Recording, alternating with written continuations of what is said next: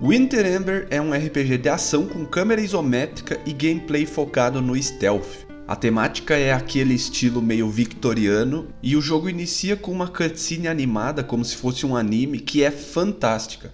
O protagonista teve sua família assassinada alguns anos atrás e agora está buscando vingança.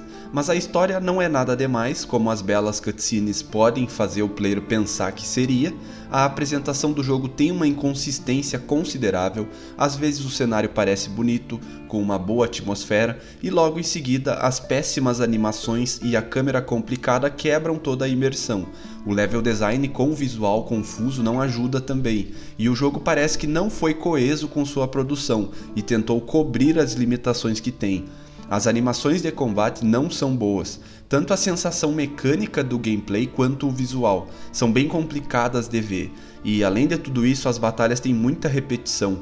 As opções do level design até são boas, como entradas por janelas, atalhos e lugares interessantes de vasculhar e se esconder, mas logo o player percebe que absolutamente nada faz sentido. Os objetos são apenas posicionados em todos os lugares de todos os cenários, Quase todos os lugares têm as mesmas portas, mesas e caixas, que são em locais que não fazem sentido também, como se todos os moradores do mundo do jogo estavam prestes a se mudar e pararam no meio do processo. No meio das calçadas da cidade vão ter entulhos e caixas por nenhuma razão, apenas por motivos de aqui vai uns entulhos, já que é um videogame que teu personagem precisa de bloqueios de visão.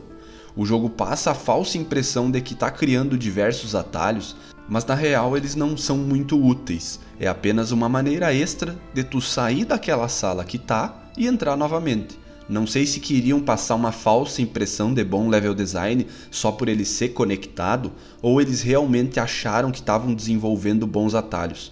Eu gosto muito da temática e atmosfera que eles tentam passar, mas as texturas não ajudam, a movimentação do personagem não é fluida também, e o posicionamento de tudo não permite que o player se sinta dentro daquele mundo. Sem falar que em dois momentos o FPS despencou abaixo de 10.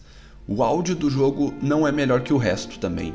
Ele é bem mudo, o tempo inteiro deixando a desejar no som ambiente, e os outros sons, como de cortes de faca e fechaduras, é o mesmo em todos os momentos e locais do jogo, se eu não estou enganado. Não importa onde o personagem esteja. O jogo não permite nenhum tipo de experimentação pelo player.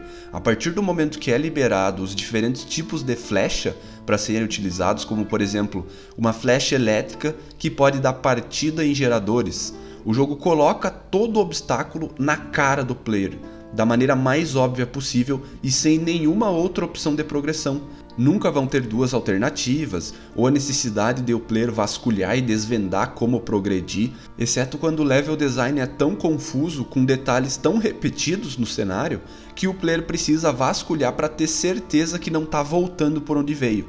Winter Ember me deixou intrigado quando eu vi sua apresentação, mas infelizmente é um jogo que eu não recomendo.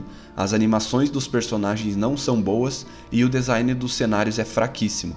O Winter Ember está disponível apenas no PC e após algumas horas eu percebi que é candidato ao pior RPG que eu joguei em 2022 até agora. Para mais vídeos desse estilo de jogos pouco conhecidos, se inscreva no canal e até mais.